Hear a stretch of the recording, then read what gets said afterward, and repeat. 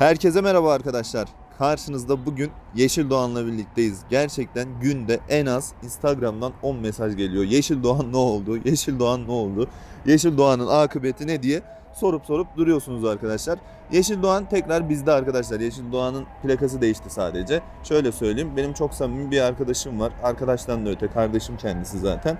Ee, Birçok videoda da görmüşsünüzdür. Selçuk diye. Selçuk Eser kendisi. Ee, bu aracı böyle satma planım olduğunu söylediğimde ben ilk YouTube videosunda kendisi de inanamam, inanamamıştı zaten. Arada öyle telefonda konuştuk. Ee, bana satar mısın arabayı dedi.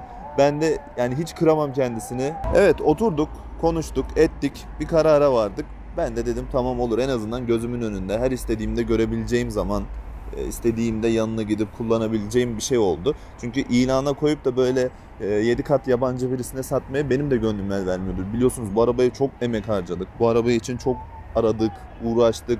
Alış süreci zaten çok ayrı bir serüvendi bu arabanın. Bunların hepsine sizler de tanık oldunuz. Ama kardeşim dediğim adama gitmesi beni çok çok sevindirdi. Mutlu etti en azından yani ki ee, az önce söylediklerim işte böyle arabaya bir şeyler yapıldığında falan her şeyinde haberdar olabiliyorum arkadaşlar. Ha, bu arabaya daha önceki videoları izlemeyenler bu arabayı neden satmaya karar verdim? Biliyorsunuz benim bir kırmızı doğanım vardı. Çalındı. Sonra bulundu. O videoları izlemediyseniz eğer ki mümkün değil izlemişsinizdir. O araba bulunduktan sonra kafamda o araba vardı zaten. Ben bu arabayı alırken bile o arabayı hayal ederek almıştım. Çünkü bu araba da 95 model, o araba da 95 model. Bu araba da 95 hidrolik direksiyonlu, o araba da 95 hidrolik direksiyonlu. Yani benim hep e, Tofaş'ta bir isteğim var. Çok az üretildi bunlar. Alçak göğüslü ve hidrolik direksiyonlu çok az var Tofaş'ta biliyorsunuz. 95'lerin hepsinde yok. Ama bu araba 95 alçak göğüslü ve hidrolik direksiyonlu nadir olanlardan. Yani sadece benim bildiğim kadarıyla 6 ay ile 1 sene kadar üretildi bu arabalar sadece. Kırmızıyı da zaten öyle almıştım. Bunu da alırken sırf hep 95 aradım. Çok 97, 98 üst modeller ya da aşağı modeller denk geldi bana. Ben hep hidrolik ama alçak göğüslü olacak diyordum. Ben çünkü yüksek göğüs bence Tofaş'ın DNA'sına çok ters.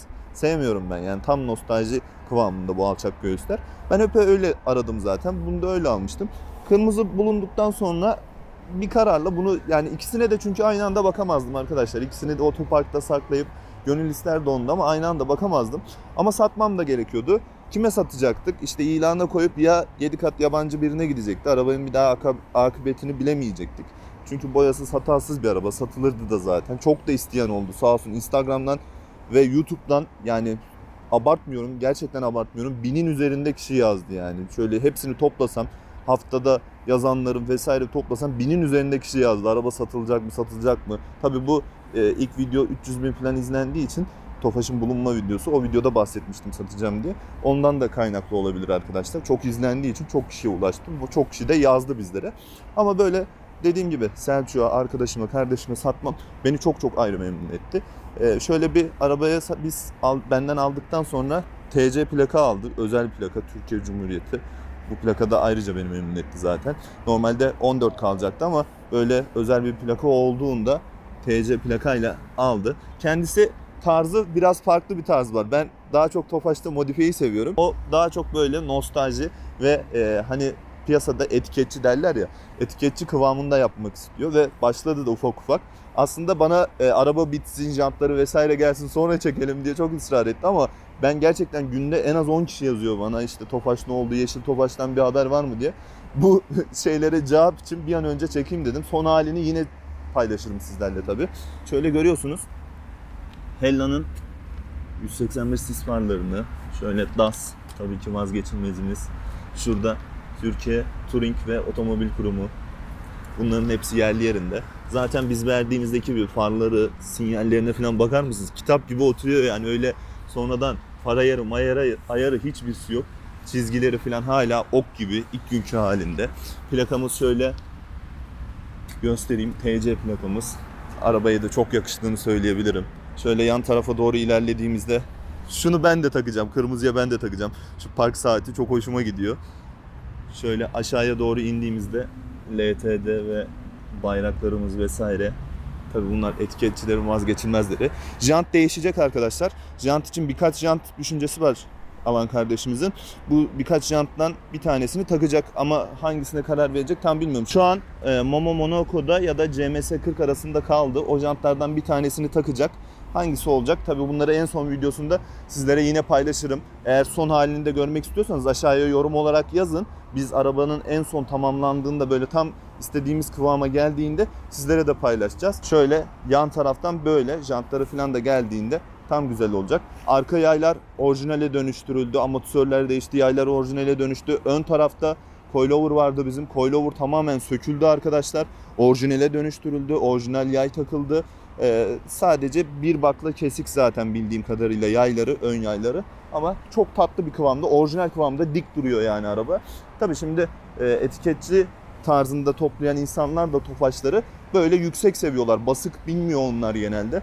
Basık olunca tabii etiketçi tarzında toplandığında araba, araba kendini göstermiyor. Arabaya yapılan şeyler kendini göstermiyor. Bence de yani bir araba etiket toplanacaksa kesinlikle basık olmamalı. Şöyle asıl şurada bakın. Görüyorsunuz. 98 nikenajlar falan var. Yine burada da aynı şekilde görüyorsun bayraklarımız, nikenajlarımız. Şu arkada depo kapağı. Şöyle Mustang GT'nin bir depo kapağı var arkadaşlar. Görüyorsunuz bu tamamen aktif durumda yani buradan açılıp kapanabiliyor depo kapağı. Yani sadece süs değil bu da ayarlatıldı. Şöyle arkasına doğru geçtiğimizde ise logoların hepsi iptal edildi arkadaşlar. Şöyle Cadillac logosu şu tarafta. Böyle nikelaj detaylar. TC plaka da duruyor ya. Bayağı güzel oldu yani arka tarafı da nikelajlar. Ya bu kafa da çok güzel. Ben bu e, etiketçi kafasını da çok seviyorum. Ama hep korkuyorum yani ben birkaç nikelaj detay vermek istiyorum Kırmızı Doğan'a da şimdi ama birkaç tane verirsem devamını getiririm diye. Çünkü bu işe bulaşan arkadaşlarım hep bana bunu diyor. Bir başladın mı bırakamıyorsun diyorlar. O yüzden bilmiyorum artık. Belki ben de yani şu an çok beğendim ben. Siz nasıl beğendiniz mi beğenmediniz mi bilmiyorum ama yorumlarınızı merak ediyorum. Şöyle aşağıya doğru geçtiğimizde bakın şu üçgenleri görüyorsunuz değil mi? Flaşörleri. Bunlar çok hoşuma gitti. Bunları kesinlikle ben de takacağım. Yani benim o 90'lı yıllarda bunları çok takıyorlardı arabaya. 2000'lerin başında falan Tofaşlarda çok takıyorlardı. Onlar beni geçmişe götürdü. Az önce fark ettim onları da. Şimdi arabanın sizlerle birlikte bir de içine geçelim. İçinde de bayağı ciddi değişiklikler oldu. Onları da göstereyim sizlere. Evet şimdi aracın içerisindeyiz. Böyle bir Pioneer teybimiz var arkadaşlar. 8600R. Böyle eskiler bilir bu teybi. Bu da kumandası. Göstereyim sizlere. Teyip değişti tabii. Pioneer'ın yine bir teybi vardı ama Selçuk dediğim gibi tam böyle etiketçi kafasını falan çok sevdiği için böyle bir Pioneer 8600 R teyip takıldı araca. Şöyle göstereyim bir. Yine Cadillac logomuz var şurada torpidoda. Ortasından yine torpidoyu böyle açabiliyoruz arkadaşlar. Cadillac logomuz da güzelce torpidoya yerleştirilmiş. Koltukları göstereyim, döşemeleri göstereyim. Evet, en büyük, en belirgin içerisindeki değişiklikler bu koltuklar ve döşemeler. Tabi daha yeni olduğu için böyle şey ama e, oturacak, iyice oturacak üzerine arkadaşlar. Döşemelerimiz komple yeşile, orijinal rengine yeşile kaplandı. Şöyle göstereyim. Deri döşeme, atlar atlarının süngerleri falan komple de, değişti. Yani şu an sıfır arabanın koltuğu nasıl bir his veriyorsa böyle dokunduğunuzda aynı hissi veriyor yani diyebilirim. Bayağı ciddi bir şekilde uğraşıldı ve orijinal deri arkadaşlar Bentley derisi bu deri ve orijinal deri gerçekten yani yok işte şurası deri yanları e, Winnex vesaire yani ya da imitasyon deri değil. Komple orijinal bir deriyle kaplandı bu deriler. Şöyle bir koltuk başlıklarımızda şu arka koltuk başlıklarını görüyorsunuz. Bu arka koltuk başlıklarından ön tarafa da gelecek. Yani şöyle olacak ön taraftaki koltuk başlıklarımızda. Bunu da etiketçiler bilir zaten. O koltuk başlıklarından bu ön, ön tarafa da koyulmuş olacak arkadaşlar. İç tarafı böyle, ön tarafı böyle yani. Görüyorsunuz. Hala maşallah var ya. Pioneer TSS 20'ler bunları ben takmıştım zaten hala yerinde duruyor. Olmazsa olmaz vazgeçilmezdir onlar. Tesisatla ilgili de ciddi gelişmeler olacak. Arabaya tesisat yönünden ciddi e, gelişmeler ve iyi eski nesil hoparlörler vesaire takacak Selçuk bunların hepsini ayarladı. Tabi hepsi bir günde olmuyor arkadaşlar. Zamanla oluyor, uğraşılıyor. Aldığından beri uğraşıyor yani etiketçi yapıyor arabayı. Onu ya değiştiriyor, bunu değiştiriyor. Hepsiyle tek tek uğraşıyor yani. Evet. Arka koltuklarımız da böyle arkadaşlar. Şuraya bir Cadillac logomuz gelecek. Tam şuraya. Etiketçiler yine bilir bunları. Tabi çoğu kişi diyor ki ne alaka falan da etiketçiler bu işleri tam iyi biliyorlar. Şuraya bir Cadillac logomuz da gelecek arkadaşlar. Alt, arka koltuk döşemelerimiz de böyle yerli yerinde. Şöyle yan kapıyı da göstereyim. Hepsi yapıldı. Şöyle camlarını da göstereyim. Hatta bugün ya da bugün yarın yani bu camlar da değişecek komple. Benekli camlar gelecek. Camların hepsi orijinal bu arada. Onları da göstereyim sizlere bakın. Görüyorsunuz değil mi? Tez cam. Tez cam İstanbul logolarını vesaire şöyle netleyeyim hatta. Hadi canım odakla. Bunların hepsi komple benekli. Orijinal camları da yine üzerine takılacak arkadaşlar aracın ve tesisat işlemi yapılacak. Bu tesisatlar bizim eski tesisatlar. Biz aldığımızda da bu vardı. Selçuk pek bunları beğenmedi. Ee, daha klasik, daha orijinal bir Pioneer'ın eski nesil tesisatını yapacak. İşte Pioneer 302'ler, 6985'ler falan onları takacak. Bu tesisatı da komple değiştirecek. Böyle şişik panzot değil de daha yayık, böyle daha orijinaline uygun, güzel görünen bir panzotla birlikte. Çünkü bu arkadan böyle çok dik, çok kaba. Ben de zaten bunu değiştirecektim de vaktimiz kalmadı. Yani ben de değiştirecektim. Yoksa böyle arkadan çirkin bir görüntü var. Ama Selçuk bunların hepsini yakışan bir şekilde halledecek arkadaşlar. Böyle bagajını göstereyim sizlere. Bagajı da mis gibi.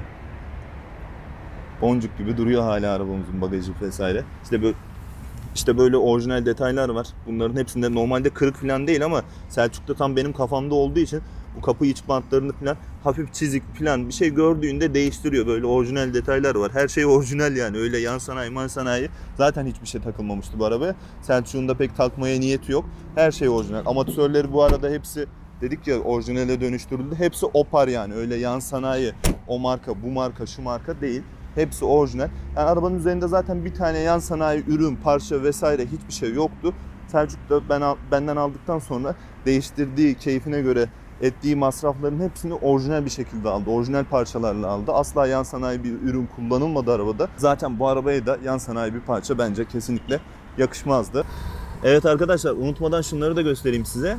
Şöyle ben de kırmızıya yapacağım. Bunda spoilerını vermiş olayım. Pato'nun sarı limon sarısı farları takılmış tabi arabamıza. Normal orijinal sarı değil de limon sarısı farlar takıldı. Yanda Amerikan parçası ben yaptırmıştım zaten o güzel yanıyor. Hellalarımız aktif böyle sarım sarım yanıyor böyle. Şunu da göstereyim. Efsane duruyor ya. Ve bir de size Konya egzozu dinleteyim biraz. Sesine bir bakın. Özlemişsinizdir. Hikayeyi atıyorum bazen. Bakın.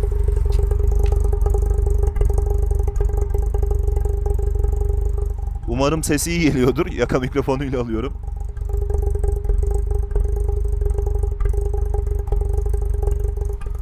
Motoru da zaten bıraktığımız gibi arkadaşlar. Tüm etiketler yerli yerinde, üzerinde vesaire. Şöyle görüyorsunuz. Bakın. Her şey üzerinde, yerli yerinde. Yan sanayi hiçbir şey yok. Her şey güzel. Bu başkaydı ya. Bu araba gerçekten bakın daha şu halı bile sarkmamıştı arkadaşlar arabanın üzerindeki şu halı bile. Bunlar hoş detaylardı. Gerçekten güzel detaylardı. Gerçekten kendi arabam diye demiyorum ama nadide bir araçtı. Nadide bir parçaydı. Yani böylesini bulmak piyasada baya baya zordu.